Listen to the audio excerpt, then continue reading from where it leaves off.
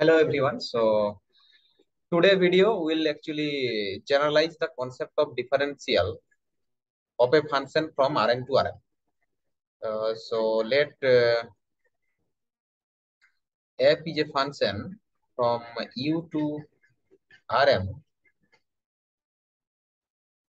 where u is a open subset of Rn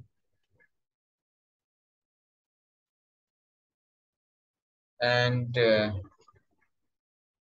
p belongs to u. So now uh, we want to define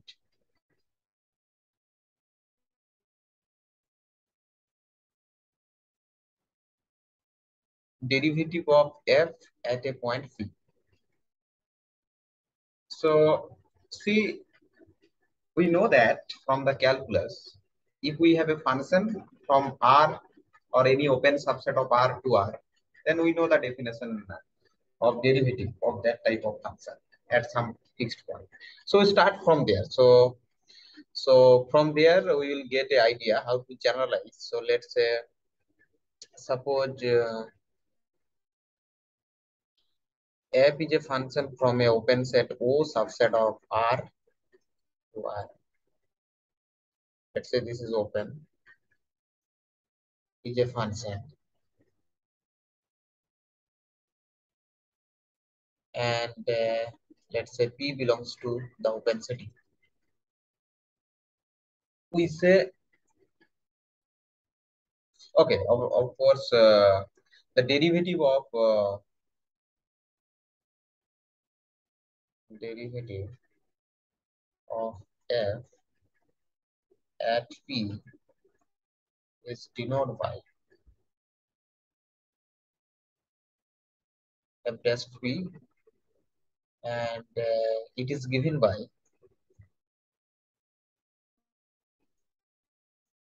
it is given by basically f dash p equal to so this is nothing but so limit so uh, okay of course uh, we'll uh, put the limit later so let me write it here so now it is defined so basically we will take the the res ratio of the functional value near p and the increment and then we take the limit okay so limit is tends to 0 so this was the definition for derivative of a real value function defined on it open subset of R. Now, this definition we will rewrite in a clever way.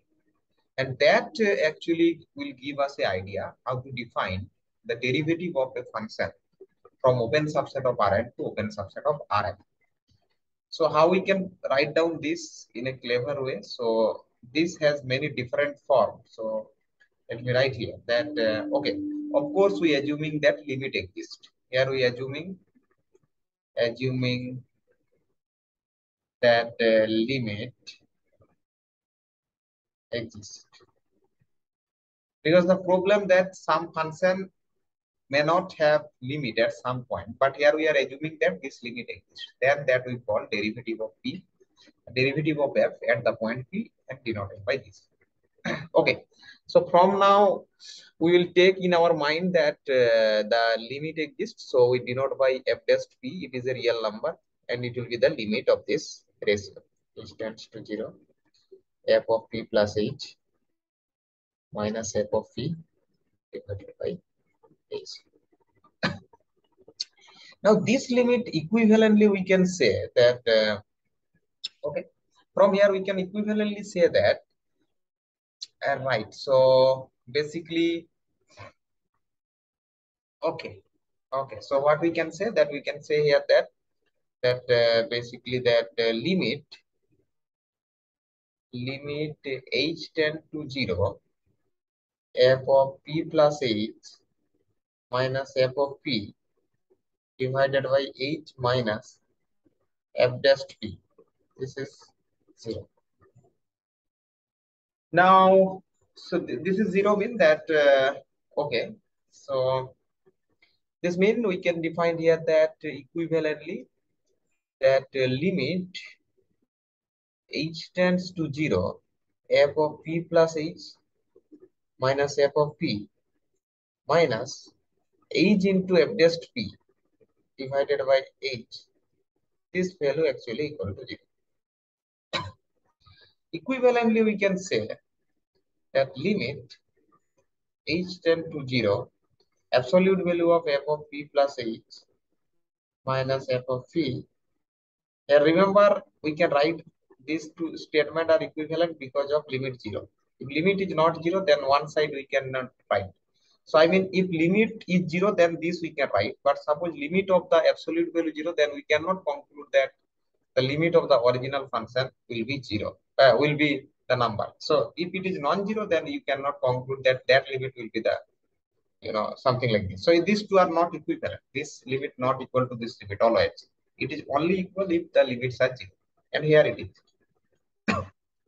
So for convenience, let me write it here that this step. So it is equivalently saying that limit h tend to 0 f of p plus h minus f of p minus h into f dash p is mod divided by mod of h equals to 0. So now see here derivative part is basically this part given by this part, right? So if some function is differentiable at a point P, this means this limit is zero. So somehow you can think like this, that this term f of p plus h minus f of p and this difference divided by this equals to zero. So, or you can equivalently, okay, so now let me write it here one thing that we are considering a function L. Let's say I call, so L is a function, I call it is LP so this is a function from R to R is given by basically by LP of any X equal to, let's say we are taking that uh, X into F dash of P. So then, then clearly this is a linear map. LP is a linear linear map.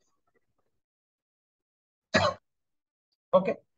So basically, see, so what we are getting that, so this is nothing but you can think this is a linear map when you thinking age is a variable. So it's given linear map from R to R.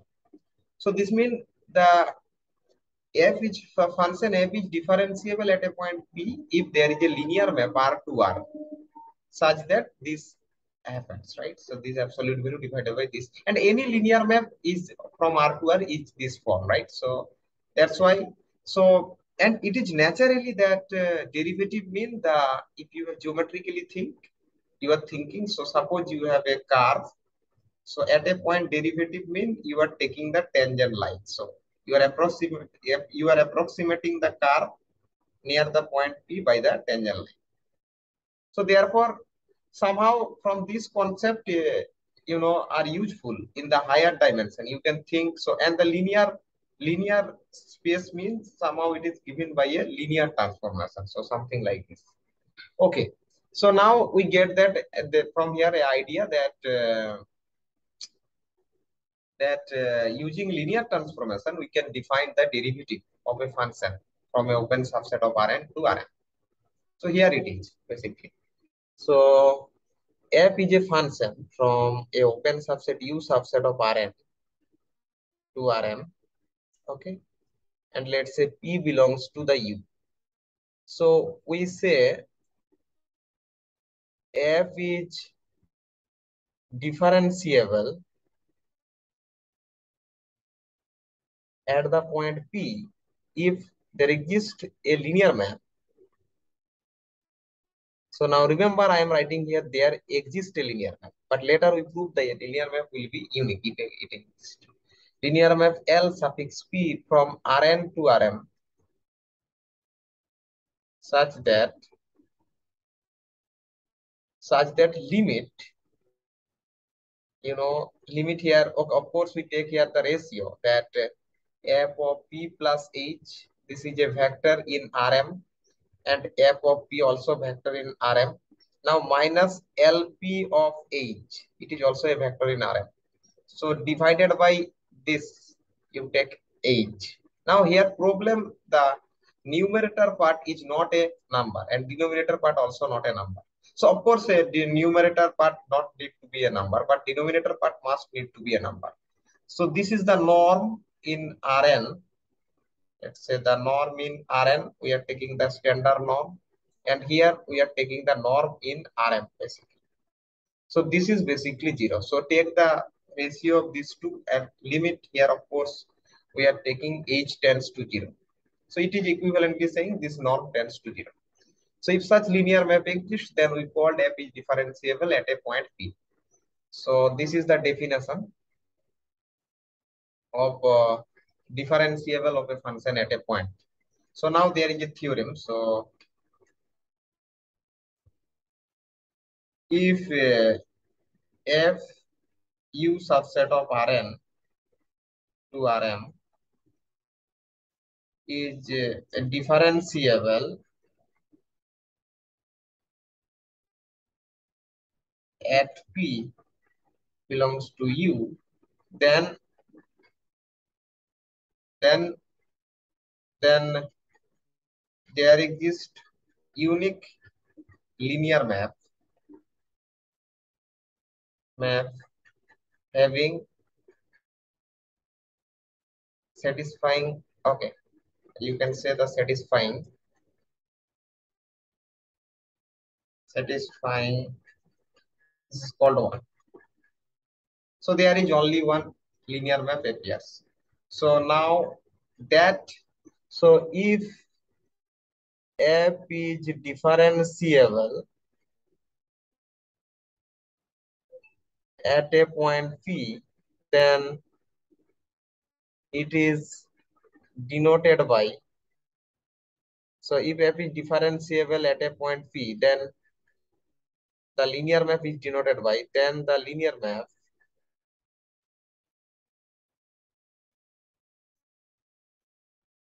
is denoted by L suffix p. Oh, oh, sorry, the linear map is denoted by that the linear map we get be denoted by either f dash p or you can say that uh, d of f at p. So this one. So all that. So you know this notation actually defined a linear map. And uh, since uh, so now one thing I will tell you that uh, here basically we use the concept of uh, sum and difference and the norm. So this definition can be used for any norm linear space basically. So in general, so here generalize. So you can generalize this. Like for norm linear space. Norm linear spaces.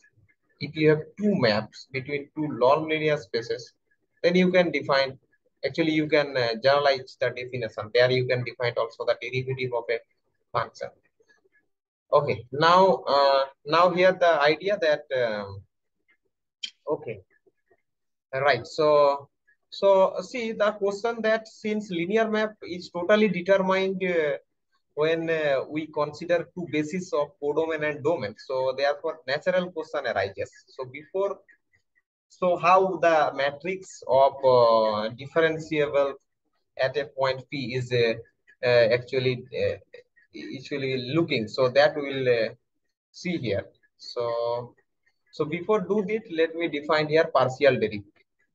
So let f is a function. F is a function from u subset of Rn to Rm where fh component wise writing let's say f1 f2 dot dot f of m component has so each fi function from you know rn to rn to r right? So so now uh, that uh, let me define here so del fi del xj at a point, let's say P, the definition, the change of, this is basically the change of the function, the, the component Fi. So fi of p plus t of ej vector along ej vector minus fi of p divided by t. So this is the definition. So limit you have to put here. Of course, that uh, you need here limit that thing at that limit. So basically, so limit. So t tends to zero. So this is the definition of called the partial derivative of fi at the point p with respect to the variable xj. Okay, so now now it is theorem that uh, right so, okay. So clear here, this is clear that why of course EJ is nothing but 0, 0, dot, dot, dot, dot, 1, 0, dot, dot, dot, 0. So this is in the jth place. So it is in, of course, I have to write here, it is in Rn. So it is the elements of standard basis. So now theorem that uh, this is the theorem